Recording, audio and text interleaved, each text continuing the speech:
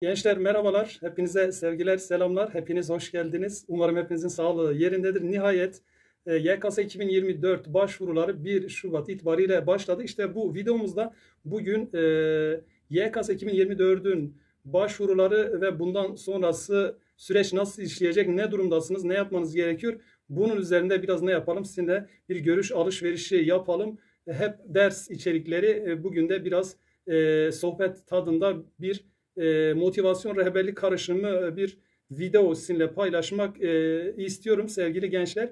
E, bildiğiniz üzere 1 Şubat itibariyle yani iki gün önce YKS 2024'ün sevgili gençler ne oldu? Tabii ki başvuruları e, başladı ve milyonlarca arkadaş bunu bekliyordu. Milyonlarca arkadaş bunun e, arkadaşlar e, sürekli e, gözlüyordu ve nihayetinde başladı. Resmi anlamda 1 Şubat ile 26 Şubat tarihleri arasında 2024'ün e, YKS başvuruları e, alınacak. Nihayetinde Haziran'ın 8 ve 9'unda da bu büyük sınav yapılacak genç arkadaşlarım. Şimdi bu e, ÖSYM yaptığı açıklamalar arkadaşlar sınavın bu başvuru tarihlerini 1 ile 26 Şubat tarihleri olarak belirlemiş.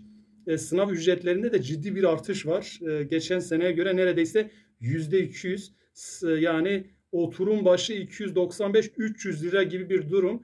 E, AYT'e girmek isteyen yani TYT'den sonra AYT'e girmek isteyenler 590 lira hepsine girecek olanlarsa neredeyse 900 lira yani 885 lira ödeyecek. E, bunu da not edelim yani ciddi anlamda bir ne var? Bir e, sınav ücretlerinde bir artış var.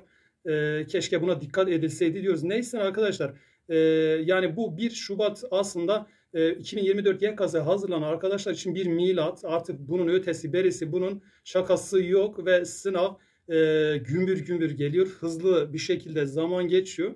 Bundan önceki videolarımızda tabii ki konuşmuştuk arkadaşlar. Belki 2 ay belki 3 ay önce e, zamanın bizi beklemediğini ve hızlı bir şekilde aktığını e, görüyorsunuz. Yani e, Şubat, Mart, Nisan, Mayıs 4 ayımız var e, temizinden.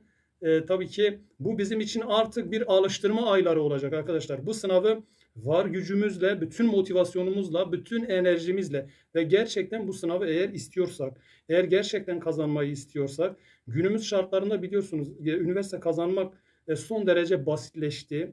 Ülkemizde e, yani üniversite okuyan oranı, okuyanların oranı ciddi anlamda arttı. E, fakat nitelik, nitelikli bir bölüm okuyup ileride bu bölümü icra etme ise neredeyse arkadaşlar gerçekten zor yani. Dolayısıyla burada üniversite kazanmak e, amaç değil, e, iyi bir bölüm kazanmak amaç olmalı ki e, sarf ettiğiniz enerji, sarf ettiğiniz, e, harcadığınız e, enerji boşa gitmemiş olsun.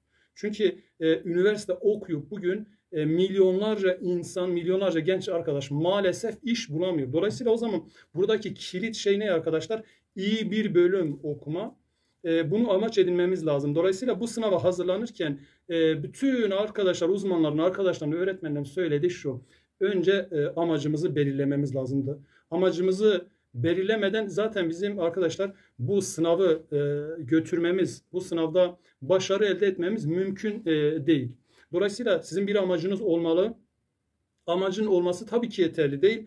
Biliyorsunuz sizinle birlikte bir ekip halinde aile ve çevre sizi bu sınava hazırlıyor. Dolayısıyla e, burada kilit nokta öğrencinin kendisi. Öğrenci gelişi güzel e, çalıştığı zaman, öğrenci bir gün çalışıp iki gün çalışmadığı zaman, öğrenci bu sınavı sakladığı zaman, öğrenci bugün değil, bu hafta değil, bu ay deyip deyip deyip deyip zamanı tükettiği zaman maalesef bu sınava katılan milyonlar içerisinde nitelikli bir bölüm kazanma şansını yitiriyor.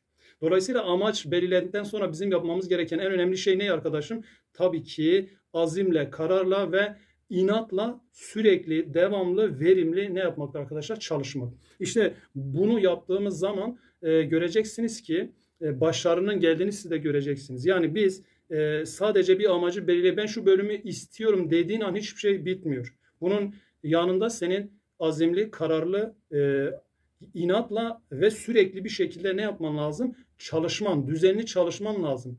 Bilinçli çalışman lazım ki sevgili arkadaşlarım bu süre sonucunda bir başarı elde edebilelim. Biliyorsunuz şurada kaldı 4 ay. Yaklaşık belki bu sınava 8 ay, 9 ay kala defalarca aslında ben hep e, videolarda sevgili arkadaşlarımı uyardım. Yani e, ertelemeyelim, ertelemeyelim, ertelemeyelim.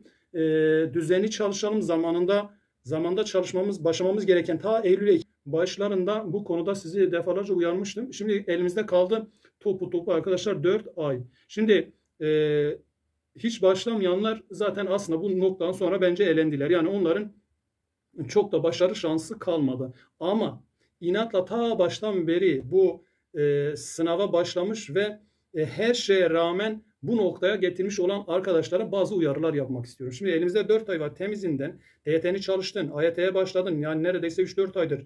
AYT'lere çalışıyorsun, denemeler yapıyorsun. E, yani para harcıyorsun, enerji harcıyorsun. Aman aman lütfen e, ne yapmayalım arkadaşlar? Enerjimizden, performansımızdan bir kayıp olmasın. Bunu düzenli devam ettirelim. 8-9 e, Haziran'a çok bir şey kalmadı. Bir göz açıp kapacağız, bir bakacağız arkadaşlar. Haziran gelmiş ve sınava girmek üzeresiniz. Dolayısıyla e, başarımızın meyvesini almak istiyorsak ama lütfen ama şu 4 ayınız arkadaşlar yine düzenli bir şekilde, kararlı bir şekilde çalışmaya özen gösterelim. Kendimizin rehberi de biziz.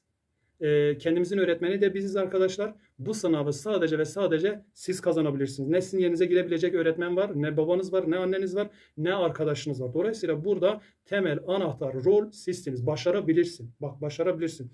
Kendine inanırsan, kendi gücüne, kendindeki potansiyele inanman lazım. Yani bunu e, keşfettiğin an bir öğrencinin gerçekten e, ortalama zeka sahip bir insanın yapmayacağı bir şey yok. Tabii ki her şey nasip kısmet. Tabii ki her şey bugün e, yani buna bağlı ama sizin tabii ki enerjiniz, burada harcayacağınız e, tabii ki e, güç her şeyin belirleyicisi. Yani ne öğretmen tek başına, ne aile tek başına, ne yaparsa yapsın burada kilit rol öğrencinin kendisidir.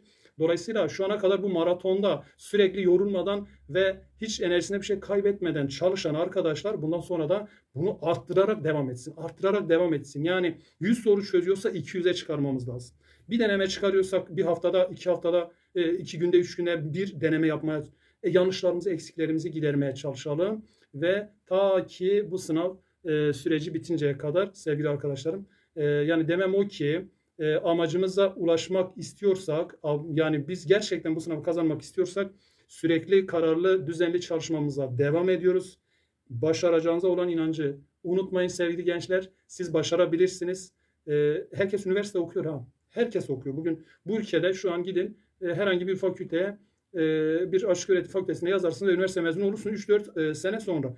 Ama nihayetinde bu bir şey yaramayacaksa bunun bir anlamı yok. Dolayısıyla burada önemli olan ileride bitirdiğin zaman bir işe girebileceğin, 3-5 kuruş para kazanabileceğin bir bölüm okuman önemli. Ülkemizde biliyorsunuz şartlar giderek zorlaşıyor.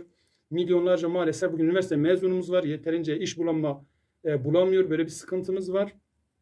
Dolayısıyla bu 4 ay senin için gerçekten de bir dönüm noktası olabilir sevgili arkadaşım. Aman ha ben yoruldum. Ya bu bu ne bitmez bir çileymiş bu bir e, işte e, durummuş e, deyip kendi kendini ne yapma? Kendi kendini yakma. E, çalışmaya devam et. E, kendi kendini yeterince sen motive edeceksin. E, yolun açık olsun. Başarabileceğine inandıktan sonra hiçbir şekilde seni e, bu yolda kimse ne yapmaz? Alı koyamaz. Ama ne zaman ki ben bu işi yapamam dediğin an o 5-6 aydır belki bir senedir yaptığın bütün çalışma ne olacak? Boşa gidecek. O dershanelere verdiğin bütün para boşuna gidecek. Ailenin seninle çektiği bütün çileler hepsi ne olacak? E, eşantiyon olacak. Dolayısıyla e, bu süreci tamamlamak istiyorsan e, lütfen dişini sık, e, çalışmalarını arttır, denemelerini arttır, soru çözümünü arttır, yanlışlarını azalt, başarıyı yakala. Hepinize sevgiler, selamlar. Hepinize iyi çalışmalar. Özellikle AYT, TYT yönelik e, sevgili gençler. Biliyorsunuz bizim çalış, e, çalışmalarımız var. Bu e, kanal yani sosyal kodlar kanalı çok geniş bir e, kitleye hitap ediyor. E, tabii ki bu kitlenin içerisinde e, en e, arkadaşlar e, yine e, yoğun olan e, bulunan arkadaşlarımız üniversite hazırlanan onlara yönelik çokça çalışmamız var. Takip almayı, abone olmayı, arkadaşlarımıza kanalı önermeyi e, unutmayın. Bir dahaki videoda görüşmek dileğiyle başaracağınıza olan inancınızı yitirmiyorsunuz.